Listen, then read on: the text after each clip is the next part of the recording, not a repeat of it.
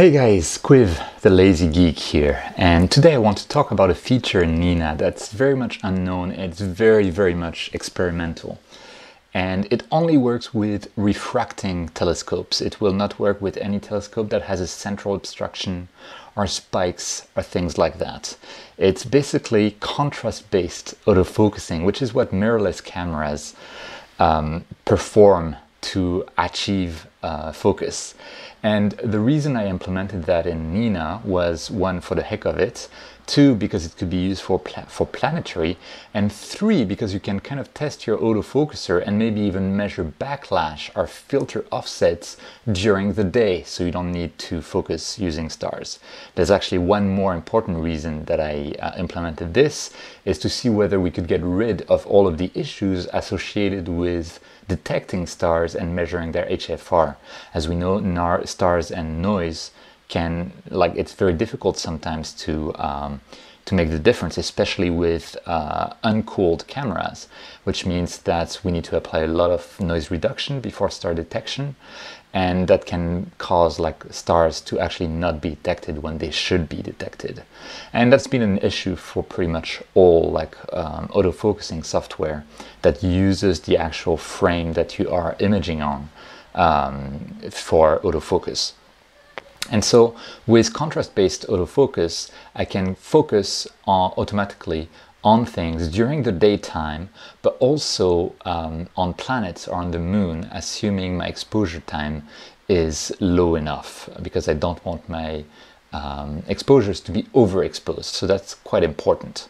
Okay, so let me show you my screen. So right now, this little thing, this little lens here, is uh, viewing one of my light switches here.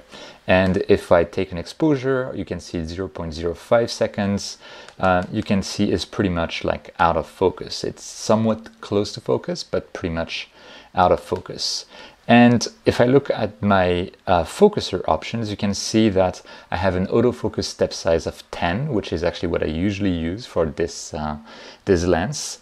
Also, you'll notice if I go back to imaging that um, I have the auto stretch on, but if I turn it off, you can see that at 0.05 seconds, I'm a bit overexposed, which is not good for contrast-based auto focusing. You really don't want to be overexposed, which you can check by use by not enabling this uh, auto stretch. So you can see that in my uh, parameters, I put the autofocus time to 0.03 seconds, so almost half of what we have. And then you can see we have the autofocus method set to contrast detection, which again is experimental. I've only tested it with my own lenses. I've established that it doesn't work well for telescopes with a central obstruction. Um, so please be aware of that. Um, and then all of the other settings are pretty much the same as usual, except the contrast detect method, with the simplest being statistics and the more um, computer intensive or uh, computation intensive ones being Sobel and Laplace, which uh, perform convolutions on the image based on a matrix that will be a convolution matrix that will be more or less wide and that can take a bit of computing time to achieve. Statistics is extremely fast and um, you would see like the autofocus actually like run through all of those exposures very quickly. Um, so one of the things as well, if you're going to use that to measure filter offsets or to do um, uh, uh, in-day uh, focusing, you want to make sure that you are using an object that is flat and your lens should be more or less perpendicular to that object because especially with lenses like this, there's a very shallow depth of field.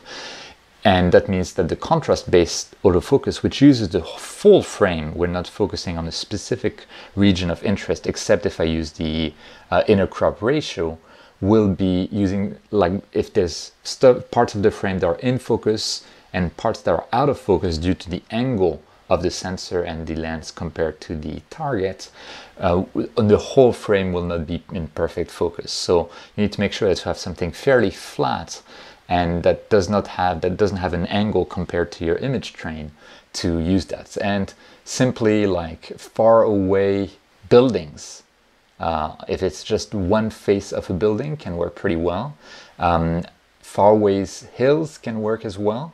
Um, but far away trees and tree branches might have issues because of the wind and you might not get repeatability of the results. But anyway, enough talk. With those settings here that I have in there, I can go to my autofocus tab. You, you see I already ran um, a focus run here, so spoiler alert, but I'm just going to start the autofocus from scratch.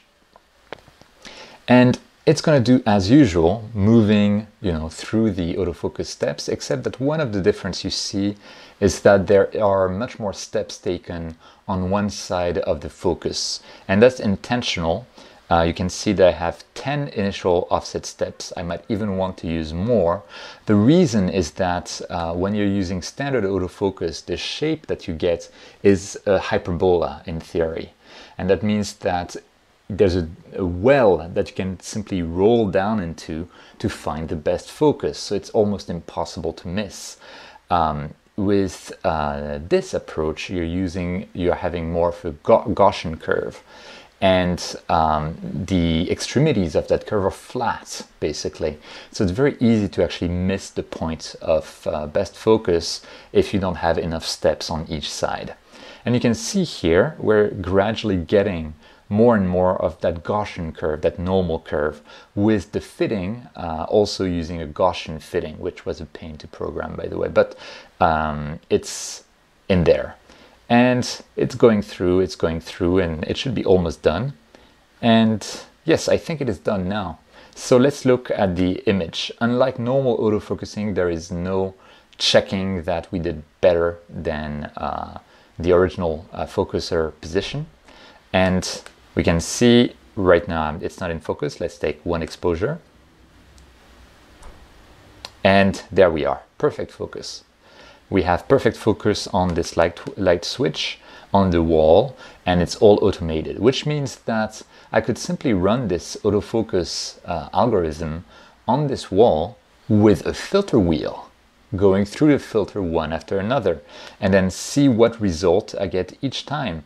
Uh, here I got uh, 5,319 and if the next focus is 5,325, it means that my offset between the two, two filters is six focuser steps, right? So I don't need to waste precious um, imaging time uh, using like star fields. I can simply use that indoors or outdoors um, and just you know during the day when uh, I can waste some uh, some time. So that's one thing, but another thing is simply computing my focuser backlash as well.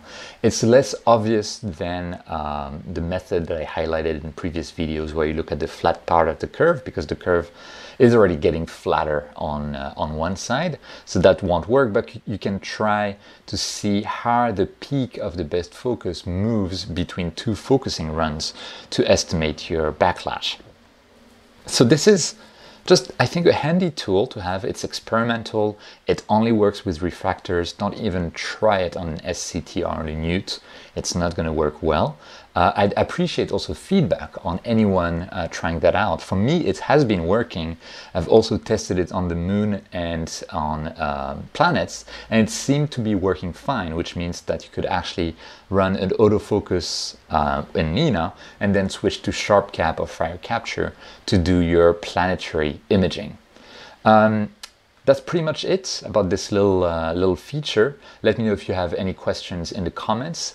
Um, if you find this useful, uh, please like and subscribe. And uh, otherwise, I mean, I'll uh, I'll see you next time uh, with still more things about Nina and astrophotography in general. Thank you very much.